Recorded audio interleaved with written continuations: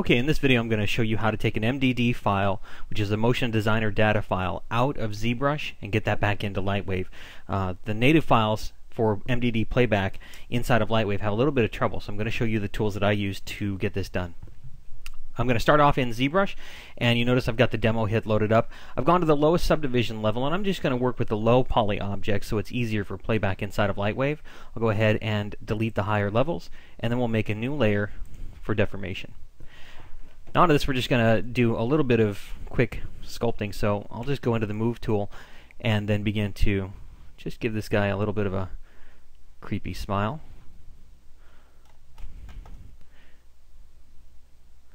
Just something that gives us some recognizable deformation. Alright, we'll call that good. We'll go ahead and click to turn off deformation recording. We can now drag the slider and we should see this as our animation. So we'll go ahead and set that back down to a level of zero. We'll go ahead and go to movie and we'll dock that over to the tray. We'll open up the timeline and choose show. The timeline requires uh, a minimum of two keyframes for your camera. So I'm just going to click to rotate a little bit. That activates the camera track. We'll click once, that adds a keyframe, and we'll move it over. And then we'll click somewhere towards the end and we'll give it another keyframe. The amount of time on the timeline is relative and is chosen in the movie menu under duration. So right now I'm just going to set that to something like 5 seconds. If we click now we can see this is roughly at 4 and 3 quarter seconds long. We'll go ahead and go back to our layer. We'll click on it. You can see the track updates now. This is our animation layer. We can also see a ghosted little bit on the timeline showing the keyframes for the camera. So I'm going to go ahead and drag the slider all the way up to 1 and then click roughly where the camera was so that we have a matching deformation to the length of time on our timeline. We'll go ahead and drag that all the way down to 0. Then we'll go ahead and click towards the beginning and move that and again, if you click and hold, it's going to zoom in on the timeline, so I'll click one more time to zoom out. If we drag the time slider now, we should see the animation happening, which is exactly what we want. Inside the movie menu, I'm going to go ahead and go to the Export Name option. I'll click that. I'm going to send this to my desktop, and I'm going to send it to a folder for MDD playback, and I'm just going to leave this as ZBrush Baked Animation MDD. Now that that button is highlighted, it tells the program to save out the MDD file when we record the animation. I'll hold down the control key and the shift key and I'll click down here below the actual timeline. That's going to go into record mode. I'll click.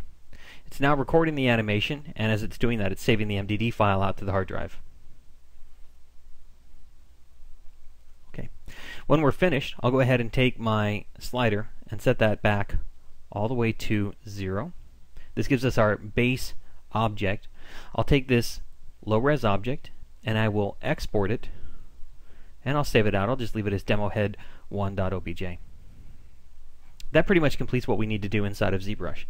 We'll go ahead and launch Lightwave. I'll import the OBJ file and then I'll go ahead and convert this to a sub D object by going to the Modeler Tools tab, toggles gtoggle subpatch.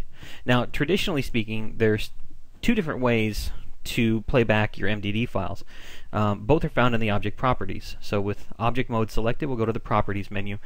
We'll go into the deform tab and under add displacement, we'll choose the MD plug file. This is the way we traditionally play back MDD files. And this does work, so even though you're going to find that it's a little bit broken with the ZBrush MDD files, for Lightwave recorded MDD files, this actually does work just fine. We'll double click. It'll give us the option to choose the MDD file. We'll load in the ZBrush baked animation, and then we'll click OK. When we drag this, you're going to notice that we don't get any real deformation at all. The other option for playing back MDDs is found under the dynamics. It's not necessarily that we're using dynamics, it's that we're using one of the dynamics for uh, MDD playback. So we'll go to Add Dynamic, we'll choose Cloth, we'll double click, we'll go to the File tab, because we're going to ignore all of the actual cloth deformation and, and dynamics options. We're just going to go to File, which is an alternate way of doing MDD playback. We'll choose load motion. We'll look for the MDD file. And it's going to tell us there's a node mismatch. That's largely due to the fact that we're dealing with a sub-D object as opposed to the regular cage. You'll also notice that if we click and drag, we don't get any results. So if we take this out of sub-D, let's go ahead and remove cloth effects and toggle that out of sub-D. Let's go back to cloth. We'll add it under the file menu. We'll load the motion. We'll apply it. And you'll notice once we do this, the whole object just vanishes, which is bizarre.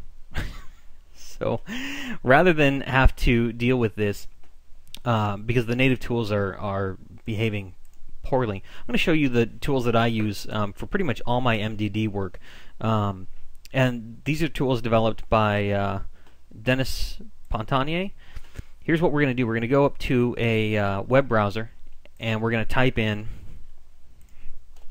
dp node kit and do a search. The first link that comes up, additional nodes, click it. Then, off to the left hand side, choose the download link. You're going to find downloads for 32-bit and 64-bit Windows, as well as Mac Universal Binary 32 and 64-bit, and I believe the Mac CFM might be an older version of the Mac OS as well. I'm not really up on what the Mac uh, OSs are. Uh, the node kit that's in here provides a ton of additional nodes that do all kinds of crazy things, and you want this kit. If you're a Lightwave user, this thing is um, is I, I, consider this to be uh, just uh, essential to have. Once you uh, download and install this, inside of the deform tab for your object properties, we'll go ahead and I'm going to set my, I'm going to turn this back to a sub-D object again. I'm going to set my subdivision order to last. Under the deform tab, I'm going to go in and choose enable nodes and I want to make sure that my node displacement order is set to before local displacement.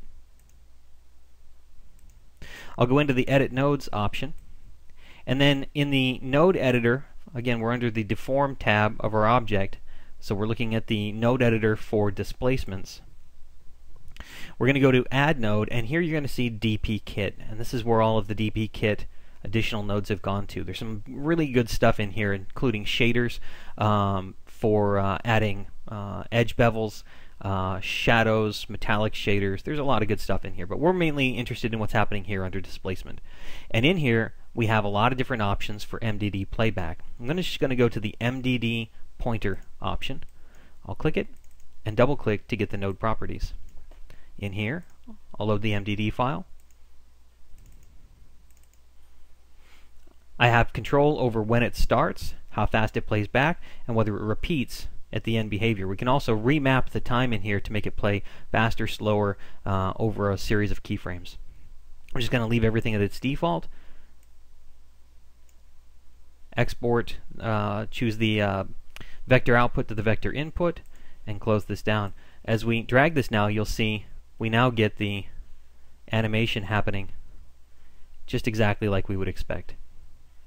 So for whatever reason the native tools are causing a problem, not a problem at all for us. Download the DP node kit uh, and then install that. You'll find that the MDD pointer plugin uh, works just fine. So hopefully that helps you getting your MDD files out of ZBrush to play back inside of Lightwave.